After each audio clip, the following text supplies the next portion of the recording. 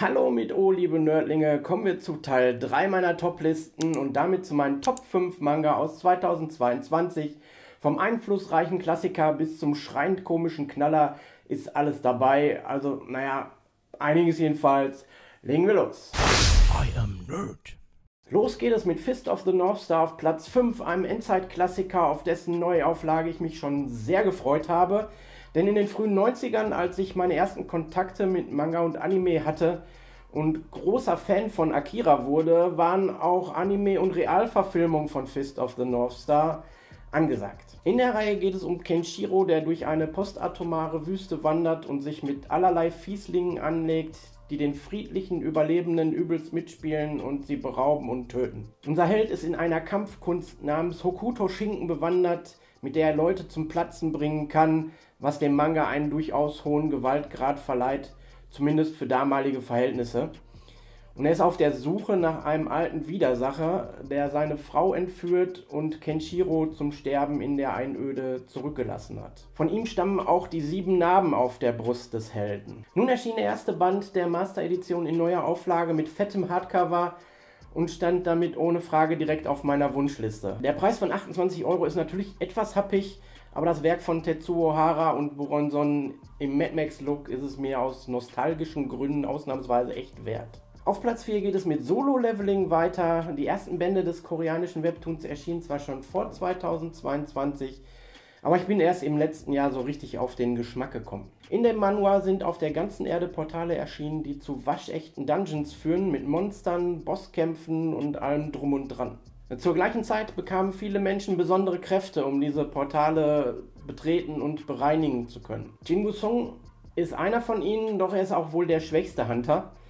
Und während eines katastrophalen Raids kommt es dazu, dass er als letzter Überlebende eine Queste bekommt, die es ihm ermöglicht, seine Fähigkeiten zu steigern, was sonst eigentlich bei den Huntern nicht der Fall ist. Er beginnt also damit zu trainieren, um zum stärksten Hunter zu werden.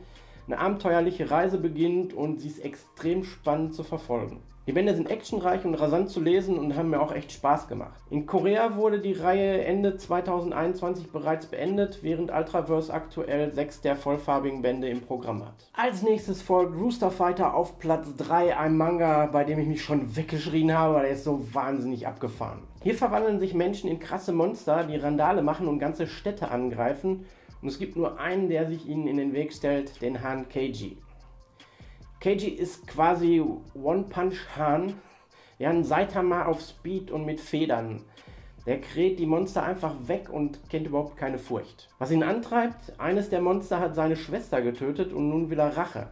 Und dabei zieht er von Stadt zu Stadt und sucht den Mörder. Rooster Fighter ist absolut irre und treibt einem vor Lachen die Tränen in die Augen. Ich habe selten sowas durchgeknalltes gelesen und der Manga von Shu Sakuratani erscheint bei Ultraverse und ich bleibe da auf jeden Fall dran. Auf Platz 2 wird es spannender und komplexer, denn Tokyo Revengers von Ken Wakui ist eine waschechte Zeitreisegeschichte, womit man mich in der Regel eigentlich immer kriegt. Loser Takemichi Hanagaki erfährt nämlich zu Beginn, dass seine alte Freundin aus Schulzeiten und ihr Bruder bei Gangstreitigkeiten ermordet wurden.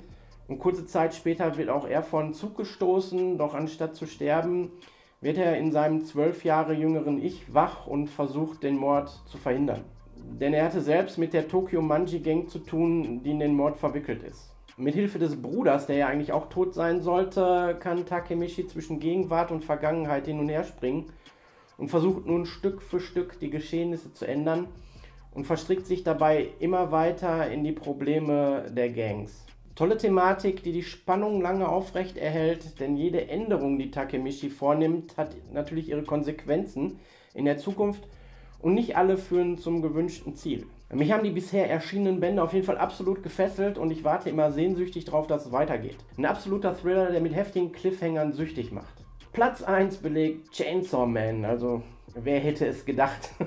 Dieses absolut durchgeknallte Meisterwerk hat mich nach dem ersten Band so begeistert, dass ich mir direkt alle 10 restlichen Bände gekauft und durchgesuchtet habe. Tatsuki Fujimoto hat hier einen Mega-Knaller hingelegt mit Denji, der der Mafia eine Menge Geld schuldet und versucht mit der Jagd nach Teufeln wenig Geld zu verdienen. Und indem er seine Organe verkauft, das ist ganz crazy. Als die Mafia keinen Bock mehr auf ihn hat, gehen die Gangster einen Pakt mit dem Teufel ein und wollen ihm Denji opfern, denn der Teufel will alle Teufelsjäger töten. Denji, der aber selbst mit dem kleinen, süßen Kettensägenteufel Poshita befreundet ist, der hat ihm mal das Leben gerettet, wird von eben jedem gerettet und kann sich fortan selbst in ein Kettensägenmonster verwandeln. Die Regierung kommt natürlich auch direkt auf den Plan und schnappt sich Denji und setzt ihn gegen andere Teufel ein. Dieser Manga ist ein absoluter Höllenritt, blutig abgefahren, super durchgeknallte Charakterdesigns, einfach von vorne bis hinten durchlesen und begeistert sein. Danke Egmont, dass ihr diesen Titel hier veröffentlicht habt. Damit wäre auch die nächste Top-Liste abgearbeitet. Schreibt doch mal in die Kommentare, welche eure Top-Manga 2022 waren. Und lasst direkt noch ein Abo da, Glocke klicken nicht vergessen, damit ihr über die weiteren Videos informiert werdet. Und Daumen sind natürlich auch gerne gesehen. Wir sehen uns beim nächsten Mal. Bis dahin, ciao.